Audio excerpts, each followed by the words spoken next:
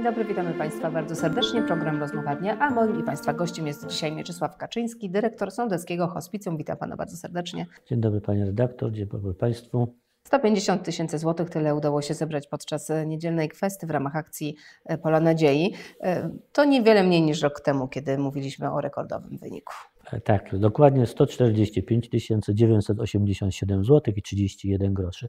Jest to troszkę mniej niż w zeszłym roku, niecałe 4 tysiące, ale za każdą złotówkę, która została zrzucona do puszki, e, serdecznie wszystkim dziękuję, bo to jest e, datek na, tych, na te osoby, które najbardziej potrzebują pomocy. Ilu wolontariuszy w tym roku kwestowało? Gdzie można było Was spotkać? E, Samych harcerzy było 450, do tego młodzież szkolna z różnych szkół i członkowie stowarzyszenia.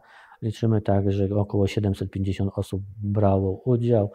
No, oczywiście akcja była na terenie Nowego Sącza i ościennych gmin, takich jak e, Librantowa, Ptaszkowa, Krużlowa, Przysietnica. E, Także, że no, było fajnie, bo w tym roku po raz pierwszy udało się nam zbierać w Marcinkowicach. E, Ja myślę, że już chyba wszyscy jakby do tej akcji się przyzwyczailiśmy, każdy ją zna i chyba nie ma takiego zdziwienia w momencie, kiedy podchodzi e, osoba, która zbiera i wręcza żółtego żonkila. Już ta akcja chyba na dobre wrosła się właśnie tutaj w nasz No, krajobraz. 20 lat prowadzenia akcji y, pokazuje to, że społeczeństwo rozpoznaje tą akcję. E, Społeczeństwo też przychylnie patrzy na e, sądeckie hospicjum. Wiele osób e, otrzymało pomocy z naszej strony. I to pomocy na najwyższym poziomie. Staramy się pomagać jak potrafimy najlepiej, bo najważniejszy u nas jest pacjent. Nie co musimy i ile musimy wydać na danego pacjenta, ale że chcemy im pomagać. Proszę powiedzieć, na co te pieniądze zostaną przeznaczone? Te pieniądze e, planujemy pozostawić na razie na naszym koncie, bo e, jak żeśmy niedawno poinformowali, że przymierzamy się do budowy nowego skrzydła. E, Chcemy rozbudować i poziom parteru, i poziom pierwszego piętra, czyli obydwa jakby nasze skrzydła, czyli skrzydło hospicyjne i skrzydło zakładu opiekuńczo-leczniczego, bo w jednym i w drugim są potrzeby coraz większe. E, Miasto, jest już jakaś wstępna umowa na przekazanie działki właśnie przez miasto. E, Tak, podpisaliśmy takie porozumienie z panem prezydentem. To jeszcze musi przejść przez scalenie gruntów, to musi później przejść przez sesję Rady Miasta, bo to będzie na 30 lat użyczenie terenu. Proszę powiedzieć, bo skoro jest taka potrzeba rozbudowy, to znaczy, że e, tych pacjentów, e, osoby, które korzystają właśnie z usług hospicjum, no przybywa. E, Tak, co roku jest ich coraz więcej. Myśleliśmy, że na jakiś czas nowe skrzydło za, za, będą zaspokojone potrzeby, no ale widzimy, że, że coraz więcej ludzi, coraz młodszych ludzi potrzebuje naszej pomocy i tak samo na zakładzie opiekuńczo-leczniczym coraz więcej osób dopytuje. Ostatnio mieliśmy kolejkę 37 osób. No także widzimy, że to zapotrzebowanie jest dość mocne, ale też byśmy chcieli e, w tej opiece hospicyjnej podnieść taki standard intymności, że e, w tych najcięższych przypadkach, żeby ci, te osoby, które przebywają u nas, były w salach jednoosobowych. Żeby na, do, spokojnie mogły sobie w tym ostatnich chwilach swojego życia odejść, żeby rodzina miała też komfort y, bycia z taką osobą, bo, bo zawsze my pozwalamy, tak, mimo tego, że była pandemia, zawsześmy też pozwalali tym najbliższym choć na chwilę być z tą osobą, która odchodzi. W 2021 zostało oddane to dobudowane skrzydło. Przypomnijmy, co tam się znajduje. No tak jak już powiedziałem, że na parterze znajduje się oddział e, hospicyjny, na górze zakład opiekuńczo-leczniczy, na parterze przynieśliśmy kaplicę na większą, no bo jeżeli zwiększyliśmy, to ta w starym budynku była niewystarczająca. Na zakładzie opiekuńczo-leczniczym wybudowaliśmy również nową salę fizjoterapii, e, salę taką już e, do spotkań takich indywidualnych psychologów, też panie psycholożki mają swoje, swój gabinet, żeby mogły też spokojnie przyjmować tam pacjentów. Oczywiście jest tam na jednym, na drugim oddziale są nowe pokoje kąpielowe, więc ten standard się powiększył, że, że już w tej chwili no, można powiedzieć, że, że no mamy to, co, co żeśmy myśleli, bo mamy i ogród zimowy, gdzie możemy, mogą pacjenci przychodzić z rodzinami, siąść sobie, porozmawiać też w intymnych y, momentach, że mają jakieś sprawy do załatwienia między sobą. To też, żeby nikt nie słuchał, no to, to właśnie ten ogród zimowy też temu służy.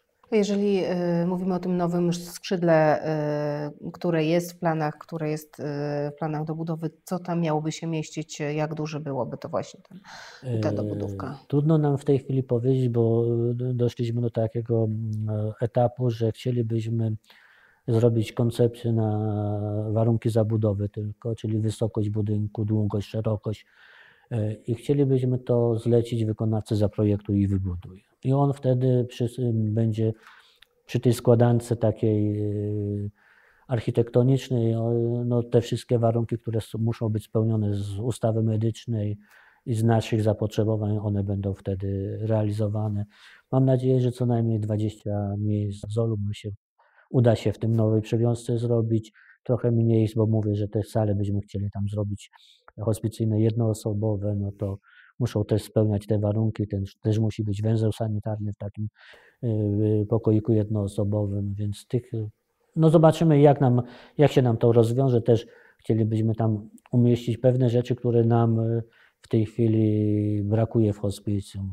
Też y, wydawało nam się, że ten ogród zimowy zrobi nam zapotrze- zapełni nam na zapotrzebowanie, no ale widzieliśmy na ostatnia Wigilia pokazała to, że jednak jest taka duża sala potrzebna do takich spotkań też y, na zakładzie opiekuńczo-leczniczym. Mamy terapię zajęciową, więc też byśmy chcieli, żeby to też było takiej, takiej przestrzeni dość swobodnej, żeby można było różnego rodzaju rzeczy zrobić. Też przyjmujemy różnego rodzaju osoby, które przychodzą do nas. Też tak, taka przestrzeń jest potrzebna, bo jak przychodzi ktoś na przykład z jakimś koncertem czy, czy, czy z jakimiś życzeniami, no to ta przestrzeń jest potrzebna. Więc mam nadzieję, że tam się znajdzie też na właśnie taka przestrzeń. I trudne pytanie o koszty. Jaki koszt i skąd ewentualnie? E, przewidujemy około 5 milionów taki koszt e, te, tej nowej inwestycji. Szukamy gdzieś środków zewnętrznych. No troszkę mamy pieniążków odłożonych. Jak zawsze możemy liczyć na dobre dusze sądeckie, które nas wspierają. Proszę powiedzieć, e, jacy pacjenci do Was trafiają, bo nieraz mu, się mówić, że, że hospicjum to nie śmierć, hospicjum to życie. Oczywiście inne, ono całkowicie inaczej płynie, bo ono płynie dużo wolniej niż, niż takie normalne życie tętniące tym, ale w wielu przypadkach zdarza się, że pacjenci, którzy do nas trafiają po, powiedzmy, po jakimś czasie e, systematycznego podawania leku, E, ciągłej kontroli lekarzy, opieki pielęgniarskiej, działań fizjoterapeutycznych, ten pacjent jeszcze trafia z powrotem do swojego środowiska domowego. To środowisko e, domowe przyjmuje, bo często ci ludzie chcą jeszcze wrócić do domu. Często się zdarza, że po jakimś czasie ten pacjent wraca do nas już takim całkowitym terminalnym stanie, ale jeżeli udaje nam się go doprowadzić do takiej y, y, stanu zdrowotnego, że może wrócić. Nigdy ich nie trzymamy na siłę. Oni chcą jeszcze wrócić do domu, oni chcą po, pofunkcjonować y, w swoim środowisku domowym, lokalnym, tam chcą, mają jeszcze niekiedy jakieś sprawy do załatwienia, ale hospicjum to nie znaczy, że ktoś trafiający do hospicjum odchodzi, bo mieliśmy pacjentów, którzy przeżywali u nas dwa lata, trzy lata, bo ta systemy, systemy, systematyczne E, opieka nad tym chorym powoduje to, że on staje się stabilny. To jest opieka, której w domu no, praktycznie bardzo nie można ciężko zapewnić, jest bardzo w domu e, taką opiekę zapewnić. Zapewnić codziennie lekarza, codziennie e, fizjoterapię, codziennie nawet spotkania z psychologiem, opiekę pielęgniarską, opiekę taką higieniczną, którą wykonują opiekunki medyczne, więc tego na, na co dzień w domu jest bardzo ciężko zapewnić takiemu choremu. Proszę powiedzieć, jeżeli chodzi o finanse, z jakich, z jakich źródeł finansowane są te usługi? Czy pacjenci także coś płacą, czy to jest tylko z Narodowego Funduszu Zdrowia e, finansowane? Opieka hospicyjna jest w 100% finansowana e, z funduszu, z Narodowego Funduszu Zdrowia.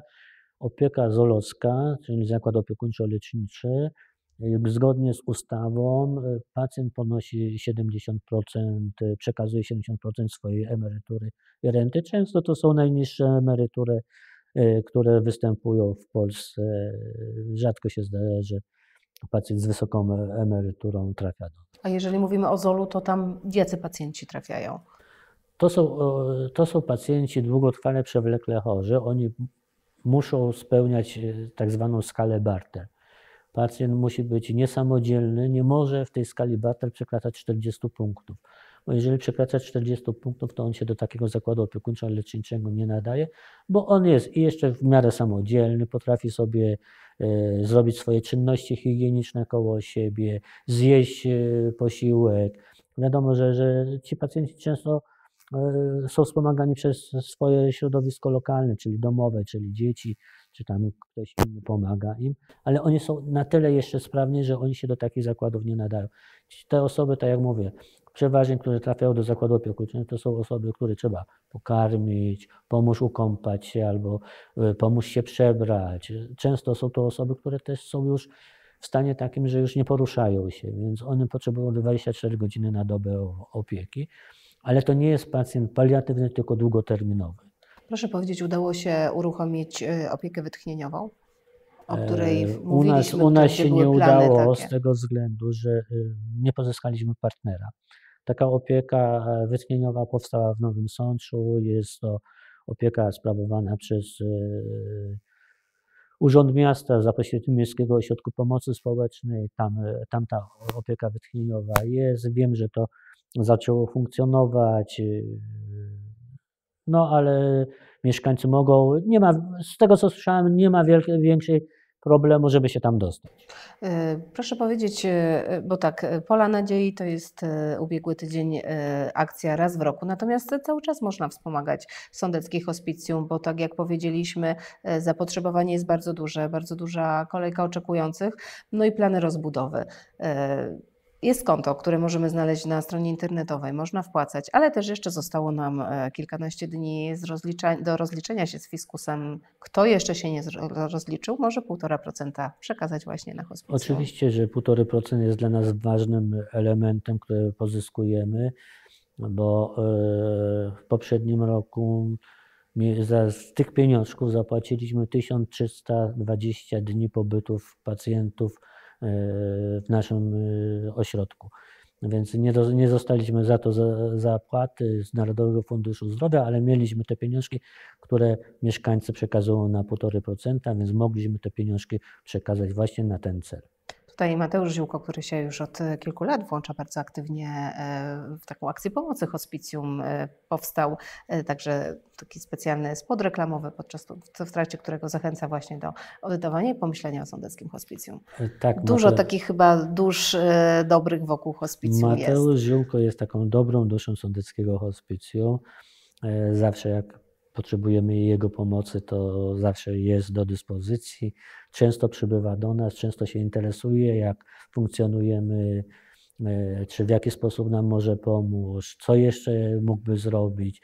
Także Mateusz Ziółko jest naprawdę taką duszą człowieka, który mm, widzi potrzeby też innych, nie? ale mamy bardzo duże grono przyjaciół Sądeckiego Hospicjum.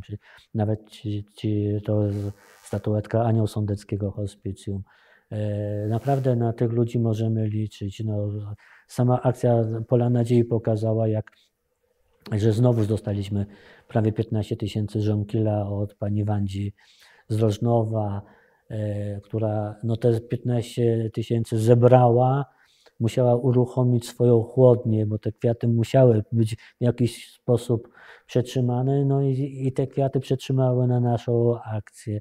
No ale to też wszystko wiąże się z kosztami, bo, no bo chłodnia po, pobiera energię elektryczną, prawda?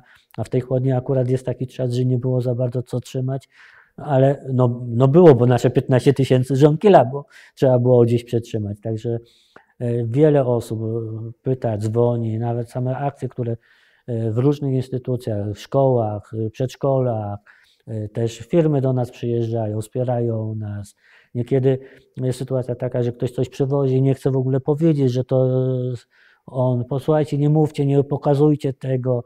E, Ja chcę pomóc z dobroci serca, ale też są takie osoby, które e, my sami chcemy pokazać, że to nie jest tak, że ktoś przyjdzie raz w roku i, i coś nam tam podrzuci, dobra jest. Są takie osoby, co cyklicznie, na przykład e, Państwo Porębowie, cała rodzina Poręb, e, Popielów, przepraszam, nie Porębów, po, Popielów na, na, nas pomaga.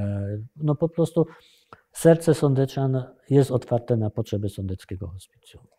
A kto jeszcze chciałby pomóc, to oczywiście e, cały czas jest taka okazja. Zachęcamy do tego, aby pomagać Sądeckiemu Hospicjum. A moim Państwa gościem był dzisiaj dyrektor tej instytucji, pan Mieczysław Kaczyński. Dziękuję bardzo. Dziękuję bardzo.